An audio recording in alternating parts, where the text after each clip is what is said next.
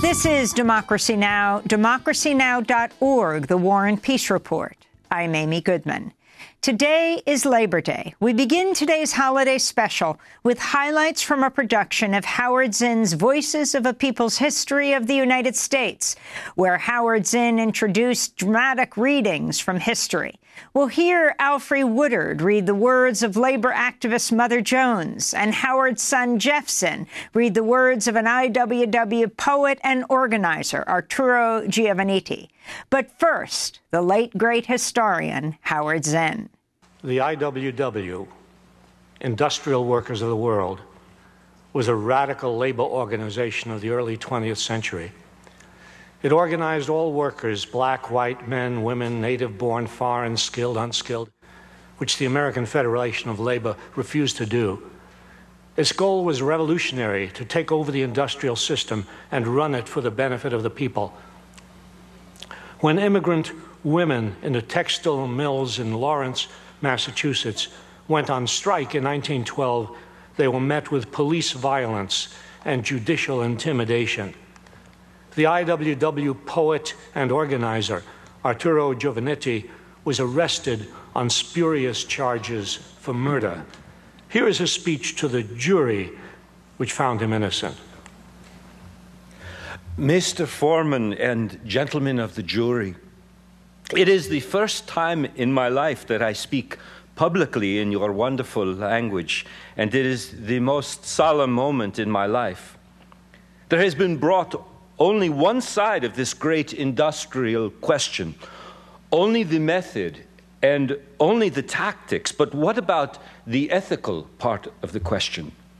What about the better and nobler humanity where there shall be no more slaves, where no man will ever be obliged to go on strike in order to obtain 50 cents a week more, where children will not have to starve anymore?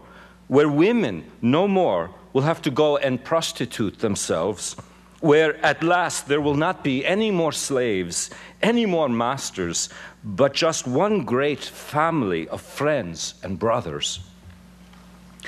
They say you are free in this great and wonderful country. I say that politically you are, and my best compliments and congratulations. But I say you cannot be half free and half slave.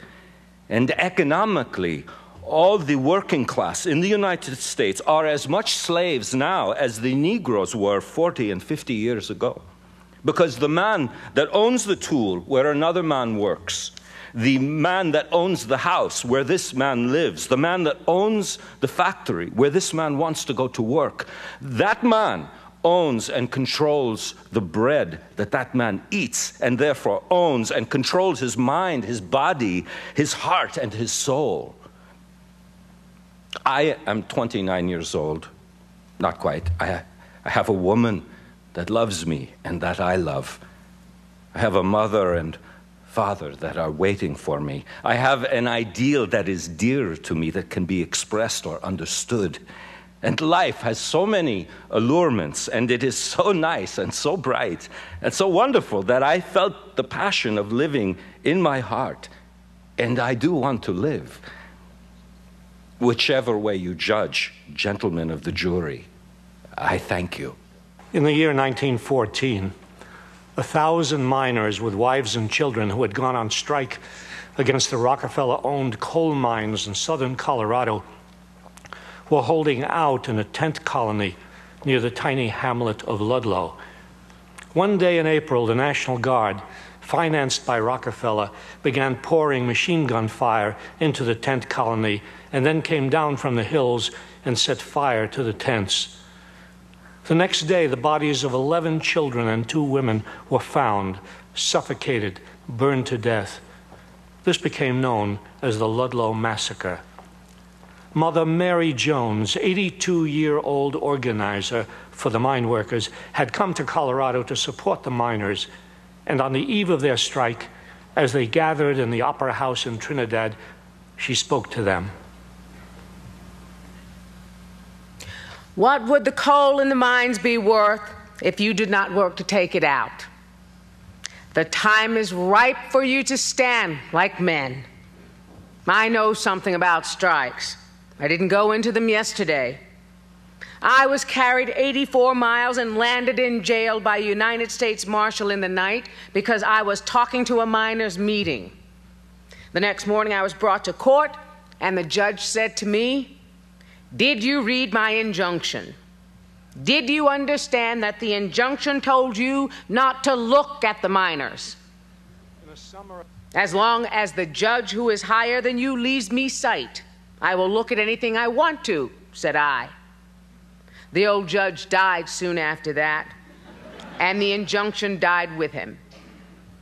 At another time, when in the courtroom, the bailiff said to me, When you are addressing the court, you must say your honor. I don't know whether he has any or not, said I. Someone said to me, You don't believe in charity work, mother? No, I don't believe in charity. It is a vice. We need the upbuilding of justice to mankind. We don't need your charity. All we need is an opportunity to live like men and women in this country. I want you to pledge yourselves in this convention to stand as one solid army against the foes of human labor. Think of the thousands who are killed every day, and there is no redress for it. We will fight until the mines are made secure and human life valued more than props. Look things in the face. Don't fear a governor. Don't fear anybody. You pay the governor. He has a right to protect you. You are the biggest part of this population, the biggest part of the population in this state. You create its wealth.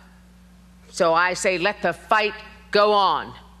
If anybody else, nobody else will keep on. I will.